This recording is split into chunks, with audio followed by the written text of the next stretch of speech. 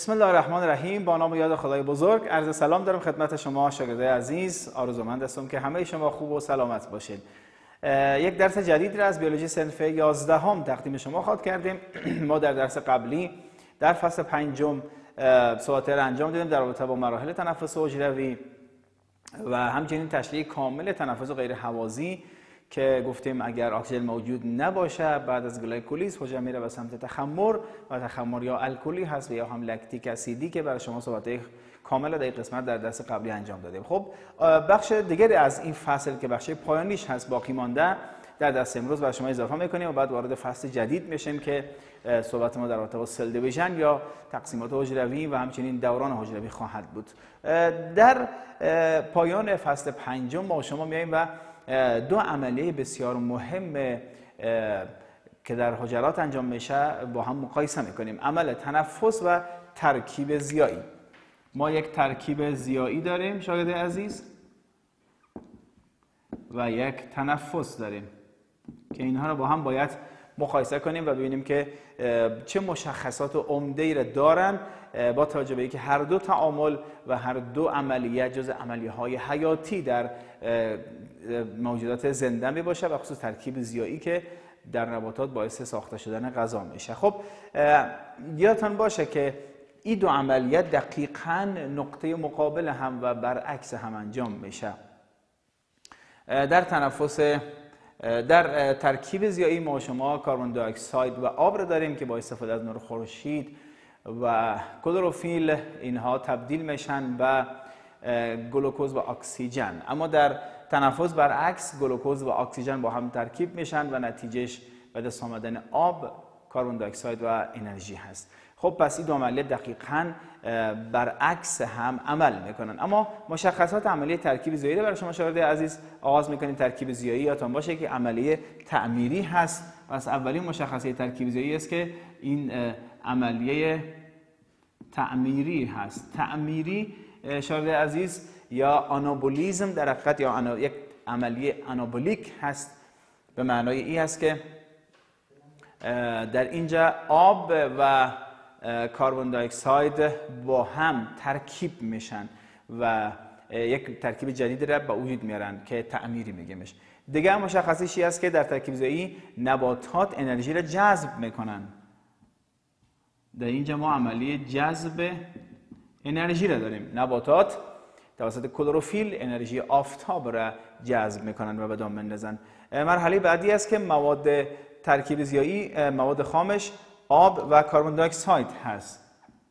مواد خام آب هست و carbon dioxide. اینا مواد خام در ترکیب زیایی هستند که مجموعا اینا مشخصات کلیش هست. در ترکیب زیایی شاگرده عزیز قسمت های سبز نباتات دارای حجرات هستند که این حجرات دارای ساختمان های به نام کلوپراست هستند پس ویژگی دیگه ای هست که نباتات سبز و حجرات دارای کلوروپلاست.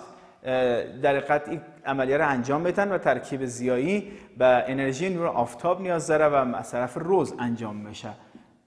نشان کنیم که از طرف روز فقط می‌تونه که انجام شود. اینا ویژگی ها و خصوصیات کلی بود که در رابطه با ترکیب زیایی بر شما گفتیم. اما مشخصات تنفس را بررسی می‌کنیم. برعکس ترکیب زیایی عملیه تنفس یک عملیه تخریبی هست. عملیه تخریبی هست. یعنی اینجا گلوکوز تخریب میشه وقتی که تعامل پیدا می‌کنه با اکسیژن گلوکوز مشکنه تخریب میشه. لذا میگیم عملیه کاتابولیک یا تخریبی می‌باشد در این عملیه برعکس اونجا که انرژی جذب می‌شد اینجا انرژی چی میشه عزیز؟ آزاد میشه. اینجا آزاد شدن انرژی را داریم. انرژی که در گلوکوز به شکل نهفته و ذخیره وجود داشت در عملیه تنفس انرژی آزاد میشه و تبدیل به ATP باید بشه. در عملیه تنفس عملیه در این عملیه گلوکوز ماده خام هست که در نتیجه عملیه در عملیه آب و کاربن دی اکساید تولید میشه و انرژی هم آزاد میشه. پس در اینجا مواد خام ما چی است مواد خام گلوکوز هست که در موجودیت اکسیژن در حقیقت چی می‌کنه؟ تعامل انجام میشه و تخریب میشه یا مشکنه. و مواد محصول ما carbon dioxide و آب هست. تنفس در موجودیت enzyme ها و در mitochondria صورت می‌گیره. این ویژگی دیگه تنفس هست در موجودیت انزایم ها هست. در یک ارگان نام مایتوکاندریا هست. در مایتوکاندریا صورت می‌گیره این ویژگی دیگهش هست و تنفس یک عمل مسلسل بوده و شبانه روز هم جریان داره.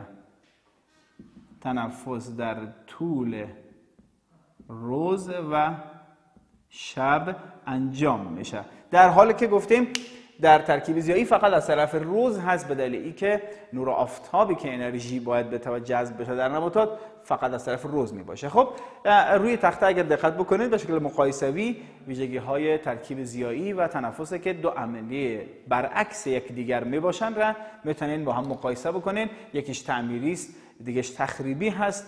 در ترکیب زیایی ما جذب انرژی داریم و در تنفس حجروی شاید عزیز آزاد شدن انرژی را داریم؟ و به همین ترتیب ویژگی دیگه شن که مثلا تفاوت عمده در مواد محصول و مواد خام هست.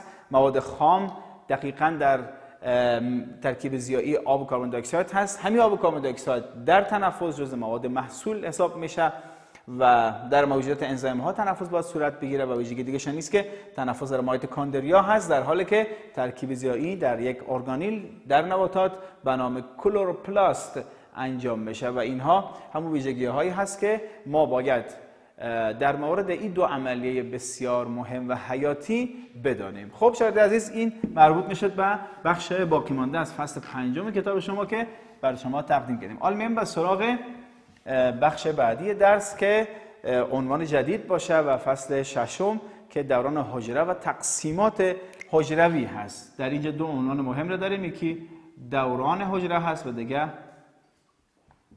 تقسیمات حجره هست. دو عنوان بسیار مهم که باید با شما موضوعاتش بررسی کنیم. ببینید شاگردی عزیز به مقدمه باید برتن عرض بکنیم که ما گفتیم در نظریه حجروی یکی از ویژگی های حجرات این هست که حجرات می‌تونن که تکسر بکنن و از یک حجره چندین حجره دیگه به وجود بیاید. به همین خاطر ما میگیم که حجرات دارای یک ویژگی هستن که می‌تونن تقسیمات حجروی را انجام بدن و از یک حجره چند حجره جدید بتونن که به وجود بیاید. و تقسیمات باید بگیم که مراحل پیچیده‌ای داره که چگونه خواهد بود برای شما حالا تشریح می‌کنیم که چه مراحل شامل تقسیمات حجروی میشه. اما قبل از اینکه ما برای شما شاهد عزیز بیم و تقسیمات حجروی رو بحث بحث بکنیم باید بدانیم که تقسیمات حجروی در بخش از سل سایکل یا سل از کنیم که یا دوران حجروی هست که یک سایکل بزرگی داره که روش بحث خواد کردیم. خب میایم در رابطه با سل دیویژن بحث می‌کنیم شاید عزیز. سل دیویژن یا تقسیمات حجره یک عمل مهم بیولوژیکی هست که در نتیجهش از یک حجره مادری ما به حجرات جدید می‌رسیم که از تقسیم حجره مادری با وجود میآیند. خب حجرات جدید در حقیقت جای حجرات قبلی را می‌گیرن جایگزین اونها می‌تونن باشن در بسیار از موارد در بعضی موارد می‌تونن که باعث تعمیر یا ترمیم یک نسج آسیب دیده شوند حجرات جدید یادتان باشه که در تقسیمات حجره وقتی با وجود میآیند عینا مشابه با حجرات قبلی خودشان هستند و تفاوت با اونها ندارند اما بیایم در رابطه با ویلچو یک دانشمند هست که تحقیقات خوبه در این زمینه کرده. بحث بکنیم. ویلچو بیولوژی دان هست که در سال 18 سال 1805 دانشمند ما ویرچو این دانشمند آمد و در مورد تقسیم حجروی نظری خودش ابراز کرد. او گفت که وقتی که نمو حجره به حد معین خود می‌رسه سطح هم سطح حجره افزایش پیدا می‌کنه و هم حجم حجره زیاد میشه و حجره دو راه بیشتر نداره یا یکی باید بترقه و از بین داره یکی به تقسیم بشه. لذا وقتی حجره نموش به حد معین رسید و هم سطح حجره افزایش پیدا کرد و همه حجم حجره افزایش پیدا کرد حجره وارد مرحله تقسیم میشه. در حیوانات عالی به واسطه تقسیم حجروی علاوه بر تکسر نسل مسئله ترمیم انساج هم می‌تونه که انجام شود و به طور عادی و نمو به خود حجرات می‌تونن که ادامه بتن و همچنین براتون عرض کردیم که بعضی حجرات عمر محدود دارن از بین میرن و باید جایگزینش حجرات جدید بشن که باز هم به چی ضرورت هست؟ به تقسیم حجروی ضرورت هست. نوع انسان با توجه که نظر ویژگی های ژنتیکی نمو انسان حد معین می داشته باشه و توقف می‌کنه. اما بعضی از حجرات هستن که همیشه به طور فعال در حال تقسیم شدن هستن. مثالی که برای حجرات می‌تونیم بزنیم مثلا حجرات کراویات سرخ خون هست. کراویات خون چه سرخ چه سفید اینها بعد از یک مدت عمرشان از عمرشان خلاص میشه. بعد از سه هفته مثلا و از بین میرن و باید جایگزینش حجرات جدید بشن. لذا باید پروسه تقسیم حجروی پیوسته جریان داشته باشه. و همچنین حجرات قاعده موی حجرات زیر جلد ما هست حجرات سیستم تکسری هست و خیلی از حجرات دیگه که گفتیم اینها به شکل فعال در حال تقسیم می باشن انواع حجرات در بدن موجود زنده فقاریه رو براتون تشریح می‌کنیم که حجرات جسمی داریم و حجرات جنسی داریم. اینا رو در درس امروز روش بحث می‌کنیم. خب پس در اینجا در یک تقسیم بندی حجرات جسمی داریم و حجرات جنسی داریم که اینها را با هم دیگه بررسی می‌کنیم. vegetative cells یا حجرات جسمی هست و همچنین reproductive cell که اینها را باز اصطلاحاتشون براتون نوشته کنم. بسیار خوب هست.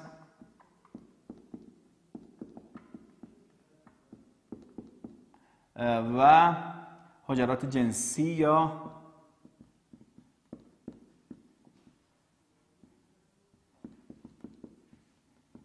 reproductive cells. خب در اینجا می‌بینیم که در یک تقسیم بندی حجرات یا حجرات جسمی هستند که اونها را ویژیتاتیو cells میگیم و یا هم حجرات ما به شکل reproductive هستن یا حجرات جنسی که تقس... انواع تقسیم هم باز در اینها می‌تونه که فرق داشته باشه. در یک تقسیم بندی شده عزیز انواع تقسیمات را می‌تونیم به دو نوع مهم تقسیم بکنیم. انواع تقسیم حجروی. گفتیم که دو نوع اصلی داریم. تقسیم مستقیم داریم و تقسیم غیر مستقیم داریم.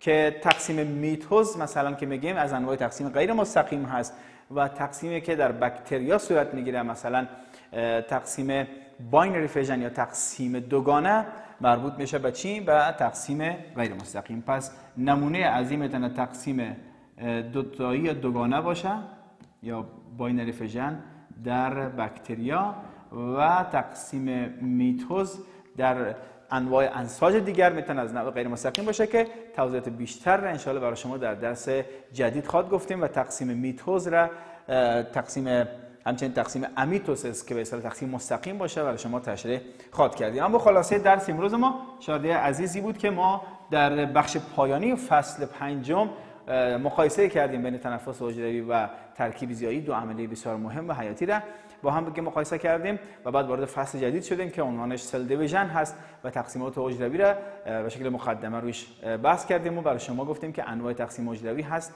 مستقیم و غیر مستقیم و ادامهش انشالله در درس جدید عنوان ما تقسیم مستقیم خواهد بود. پس عنوان درس بعد ما تقسیم مستقیم هست. و اما